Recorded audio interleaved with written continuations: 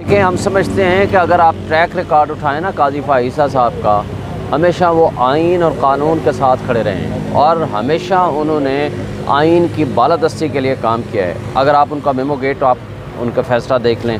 अगर आप उनका कोयटा कमीशन की रिपोर्ट आप उठा लें और आप फैज़ाबाद धरने वाला इशू उठा लें, उन्होंने कभी डर खौफ के साथ फैसले नहीं किए। उन्होंने हमेशा आइन को अपहोल्ड किया है और कानून को अपहोल्ड किया है और किसी जगह डर, खौफ उनका नज़र नहीं आया। और ये भी कभी उन्होंने नहीं सोचा कि कौन ताकतवर लोग नाराज़ होंगे, कौन हल्के नाराज़ होंगे, और किस तरह के लोग मुझे नुकसान पहुँचा सकते हैं, कौन फ़ायदा पहुँचा सकते हैं, इन चीज़ों से बालातर उन्होंने हमेशा काम किया तो उनके इस ट्रैक रिकॉर्ड के मुताबिक आपको याद होगा कि हमने तो उस, उनके लिए तहरीक चलाई थी कि वो एक इंडिपेंडेंट जज हैं, लिहाजा उनको किसी भी हवाले से इस रेफरेंस को ख़त्म किया जाए। और उसके बाद मैं समझता हूँ कि उनका जो ट्रैक रिकॉर्ड है उसको अगर हम माजी मद्देनज़र रखें तो मैं समझता हूँ कि वो बिल्कुल बेहतरीन फ़ैसले करेंगे।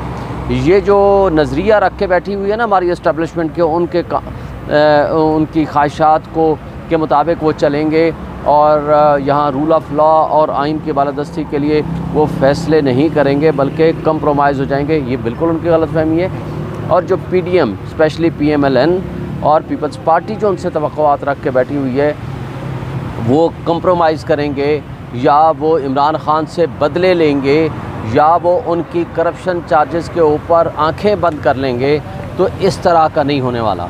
ये मेरी राय है और ये मैं आज से कई अर्सा पहले से मुस्तकिल ये कह रहा हूँ और कह चुका हूँ। हाँ एक बात है, अब आगे उनके पास बहुत सारे चैलेंजेस हैं। ये चैलेंजेस आसान नहीं हैं। क्योंकि इस वक्त मुल्क बेआइन हो चुका है। कानून की पामाली हो रही है, बुनियादी हकूक मअतल हो चुके हैं, चादर चार दीवारी का कोई तहफ़ नहीं है, मुल्क में इलेक्शंस नहीं हो रहे हैं। एक अनडिक्लेयर्ड किस्म का मार्शल्ला लागू हुआ हुआ है, यानी आपके पास जमहूरीत है लेकिन नहीं है, आपके पास आइन है लेकिन एक्चुअली नहीं है, आपके पास क़ानून है लेकिन उसका इतलाक़ नहीं है, आपके पास बुनियादी हकूक़ हैं लेकिन उसका इन्फोर्समेंट नहीं है तो ये सारी चीज़ें और फैसले हुए हुए हैं कि इलेक्शन कराए नाइन्टी डेज़ में, उनके ऊपर अमल दरामद नहीं हो रहा। ये मुश्किल चैलेंजेस हैं। अब ये चैलेंजेस का वक्त है और सुप्रीम कोर्ट में जो तकसीम है, ये एक अलग एक सब्जेक्ट है। और इन सारी चीज़ों से नबरद आजमा होना काजी फ़ाइसा के लिए एक इम्तहान तो होगा ही होगा। लेकिन मैं ये समझता हूँ कि तारीख़ में उनके पास तेरह महीने हैं। क्या तारीख़ में वो इंचना, ऊँचा नाम लिखवाना चाहते हैं, ये भी उन पर मुनसर है? क्या तारीख़ में वो अपने आप को गुमनाम करके जाना चाहते हैं ये भी उन पर मुनसर है। फर्दर उनकी परफॉर्मेंस साबित करेगी कि वो किस तरह का चीफ़ जस्टिस साबित होते हैं। बंदियाल साहब क्या लेके जा रहे हैं? देखें एक बंदियाल साहब को आप क्रेडिट देंगे। कोई जितने मुश्किल तरीन हालात थे जितना उनके दरवाज़े पे खड़े होकर कंटेनर्स लगा के उनको गालियाँ दी जा रही थी पूरी असम्बली में उनके ख़िलाफ़ रेजोल्यूशंस पास हो रही थी लेकिन उसने आइन और क़ानून की बालादस्ती के लिए तमाम फ़ैसले किए। इरेस्पेक्टिव कि उनकी ज़ात पे अटैक हुआ इरेस्पेक्टिव कि सुप्रीम कोर्ट में तकसीम का शोशा छोड़ा गया इरेस्पेक्टिव कि उसके ऊपर ज़ाती हमले भी हुए, उसके पर्सनल पे भी और सुप्रीम कोर्ट के ऊपर भी। इन सारे हमलों के बावजूद उसने अपने आप को तहमल का मुजाहरा करते हुए आइन और क़ानून की बालादस्ती के लिए काम किया, वरना उसके लिए भी बड़ा आसान था। कोई भी तरीका कर लेता, वापस भेज देता नीचे वाली हाई कोर्टों को वहाँ से फ़ैसले आएँगे, फिर देखी जाएगी। लेकिन उनके फ़ैसले बहरहाल तारीख़ में याद रखे जाएँगे। लेकिन एक चीज़ रह जाएगी, वो है अमल दरामद। ये उन्होंने करना था, ये उनका जो क्रेडिट है, वो थोड़ा सा डिसक्रेडिट में टू सम एक्सटेंट चला जाता है। वो फैसलों पे अमल दरामद अगर नहीं भी करा सके थे उनको चाहिए था। किसी एक शख्स को दो को पाँच को सिम्बॉलिक सज़ा दे देते। एटलीस्ट ये साबित हो जाता कि जिसने आइन की खिलाफ वर्जी की है कानून की खिलाफ वर्जी की है आइन और क़ानून ने उसको सज़ा दी। सर साइफर के वजह से आपने एक पिटीशन दायर किया तो क्या उम्मीद लग रही है जो सदर से मुतल नोटिफिकेशन उन्होंने अपने एक सोशल मीडिया अकाउंट पर इसका इजहार किया था कि मैंने बिल पर दस्तखत नहीं किए? देखें बिल पे जब दस्तखत उन्होंने नहीं किए ना सेवेंटी फाइव वन के तहत डीम टू बी लॉ नहीं बन सकता। या वो दस्खत करेंगे, या वो वापस भेजेंगे और दोबारा असम्बली उसको पास करेगी। तो दोबारा जब उनके पास आएगा आर्टिकल 75 सब आर्टिकल 2 के तहत, फिर उनके पास 10 दिन हैं। अगर वो साइन कर देंगे, ठीक है, वरना दस दिन के बाद that will bill will be deem to be a law लिहाजा ये गजट नोटिफिकेशन जो मिनिस्ट्री ऑफ़ लॉ ने किया है बिल्कुल टोटल गलत है इलीगल है अनकॉन्स्टिट्यूशन साहब अभी तक तो और कानून की पीटीआई बात करती है कि और कानून के मुताबिक चीज़ें होनी चाहिए लाकानूनीत है मुल्क में।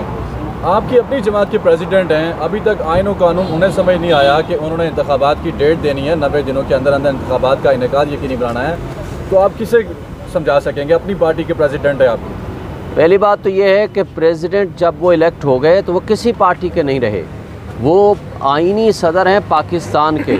वो सुप्रीम कमांडर हैं आर्मी के, वो पार्लियामेंट का हिस्सा हैं। उनको हमने मुतालबा भी किया है, मैंने प्रेस कॉन्फ्रेंस की है पिछले हफ़्ते, मुतालबा किया है ख़त की सूरत में भी और डिमांड की सूरत में भी।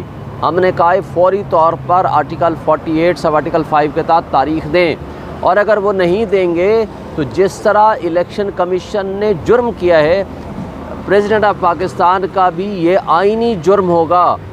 इसलिए हम उनसे आज भी मुतालबा करते हैं कि फौरी तौर पर इस पर तारीख दें ये आपकी अख्तियार नहीं है। ये आपकी लीगल एंड कॉन्स्टिट्यूशनल ऑब्लिगेशन है। शेख साहब मसला ये है कि पहले भी वो एक तारीख दे चुके हैं। यही सुप्रीम कोर्ट भी एक तारीख दे चुकी है और उन तारीखों के साथ जो हशर हुआ है वो पूरी कौम ने देखा है। एक और तारीख दे भी दी तो क्या होगा जब अमल दरामद करने वाले चाहेंगे नहीं? देखें उनका काम है अपनी कॉन्स्टिट्यूशनल ड्यूटी परफॉर्म करें। और जो उस आइनी ज़िम्मेदारी के दरमियान में रुकावटें डालेंगे, जो लोग रास्ते में रोड़े अटकाएँगे, उनका चेहरा कल बेनकाब हो गया, आपने देख लिया। यानी किस तरह प्रेस कॉन्फ्रेंसेस और स्टेटमेंट्स आनी शुरू हो गई। इसका मतलब है कि इलेक्शन का अगर तारीख आएगी तो उनकी नज़र में ये गैर इस्तेकाम होगा, पाकिस्तान। तो यानी वो इलेक्शन से किस तरह भाग रहे हैं? इसलिए कि उनको इलेक्शन सूट नहीं करता। हम ये समझते हैं कि जमहूरी और सियासी ताकतें कभी भी इलेक्शन से नहीं भागा करती। तो उनका इलेक्शन से भागना और मुस्लिम लीग नून के लीडरों की इस तरह की तकरीरें करना उनको एक्सपोज कर गया है और आवाम और पब्लिक के सामने भी वो एक्सपोज हो गए। मैं कहता हूँ, तारीख़ इनका फ़र्ज़ है अपना। जो जो शख्स जहाँ कॉन्स्टिट्यूशनल ड्यूटी अदा कर रहा है, उसका फ़र्ज़ है वो अपनी ड्यूटी सही तरीके से आइन के मुताबिक अदा करें। अगर कोई इदारा रास्ते में रुकावट डालेगा तो तारीख़ उनको याद रखेगी और जो गैर आइनी इकदाम होगा, आज भी जुर्म तो जुर्म है ना। इलेक्शन कमीशन ने जुर्म किया है, उसके बारे में ऑब्जर्वेशन आ गई है। सुप्रीम कोर्ट का चाहिए, उसमें कंटेम्प प्रोसीडिंग शुरू करें। उनके खिलाफ आर्टिकल सिक्स की कार्रवाई करें। आबिद जुबैरी ने कल मुतालबा किया है ना? बात यह है कि जुर्म तो कभी ख़त्म नहीं होता। जिसने भी जुर्म किया है, उस मुजरम को उसकी सज़ा मिलनी चाहिए। लेकिन जिस जिसकी ड्यूटी है आइन के तहत, वो अपनी ड्यूटी प्रॉपर परफॉर्म करें। ये सोचे बगैर कि जनाब मैं ये आर्डर करूँगा ताकतवर तबके मेरी बात नहीं मानेंगे या उसको फ्रस्ट्रेट कर देंगे। इस वजह से अपना काम छोड़ दें। That is wrong